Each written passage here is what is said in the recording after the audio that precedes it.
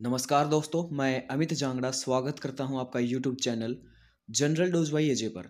दोस्तों, इस वीडियो के अंदर हम आपके जितने भी एडमिट कार्ड्स हाल ही में दो या तीन दिनों में आए हैं, उसके बारे में चर्चा करेंगे और देखेंगे कि उनकी एग्ज़ाम डेट कब अनाउंस की गई है। तो चलिए दोस्तों, वीडियो को शुरू करते हैं।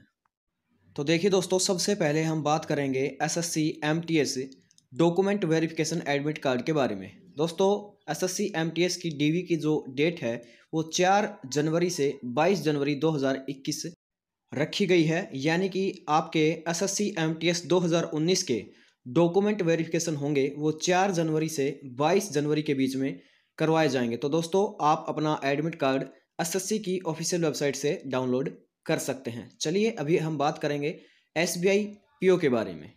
तो दोस्तों एस बी प्री एग्ज़ाम के लिए एडमिट कार्ड आ चुके हैं। आप इनको अभी से डाउनलोड कर सकते हैं और इनका जो एग्ज़ाम डेट रखी गई है वो 31 दिसंबर से 5 जनवरी 2021 के बीच में रखी गई है। यानी कि 31 दिसंबर से 5 जनवरी तक आपके एस बी के एग्ज़ाम कंडक्ट करवाए जाएँगे। चलिए अभी हम बात करते हैं R R B N T P C के बारे में।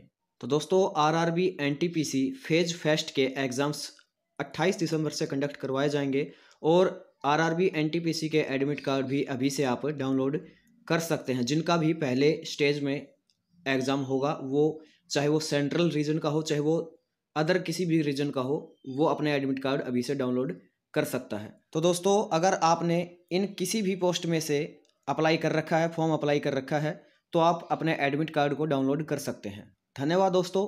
जय हिंद, जय भारत।